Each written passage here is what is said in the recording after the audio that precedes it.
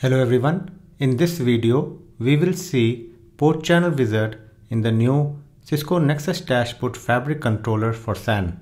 This is the NDFC SAN Controller overview page. Click on Manage and Inventory. Go to the Links tab. Here under Actions you will see Configure FCIP, Create New Port Channel and Edit Port Channel. Click on create new port channel to open the port channel wizard. First, select the fabric where you want to create the port channel. You will see all the switch pairs in this fabric and the respective port channels if any, ISLs between them and NPV links if any. For this video, I will be creating a port channel in this switch pair. Click on next these are the ISLs between these two switches. For the new port channel, I will select these four ISLs. Click on next. Here you can give the channel ID, the description if you want.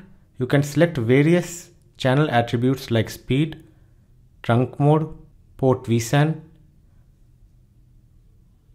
The force admin trunk speed vSAN attributes should all be identical. This is enabled by default and finally click on create new port channel. Click on OK. This is the new port channel that we just created. Click on it. Here you can see the individual ISLs that are part of the port channel. Next, we will see how to edit a port channel. For this, click on Actions and click on Edit Port Channel. This will again open the port channel wizard here select the fabric where you want to edit the existing port channel. This is the port channel that we had created previously and we are going to edit the same. Click on next after selecting it. Click on next. So now I am going to remove two of the ISLs from this port channel.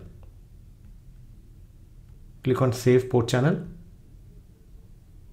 click on OK. Our port channel has been edited. This is the port channel that we just edited. Click on it. Here you can see that there are only two remaining ISLs part of the port channel.